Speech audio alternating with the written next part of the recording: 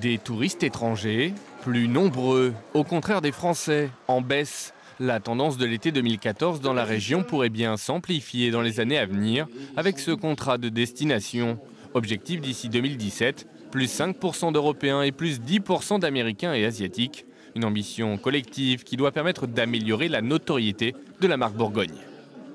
On n'est pas habitué dans le tourisme à travailler ensemble. On essaye tous de vendre sa ville, son canton, son monument, euh, son événement.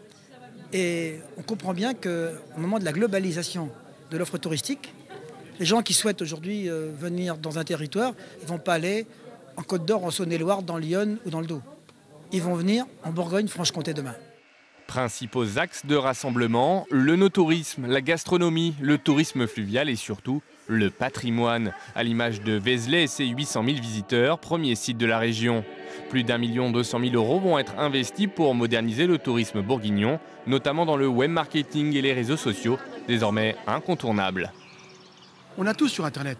On a la qualité du logement. Vous savez, les labels sont un peu dépassés. Euh, on, est content d'avoir un label 1, 2 ou 3 épis. Mais 3 épis ne veut pas dire un, bon accueil par le prestataire. Les réseaux sociaux permettent de savoir si l'accueil est bon ou pas bon. Donc voilà, toute cette chaîne du numérique est absolument primordiale dans le développement du tourisme.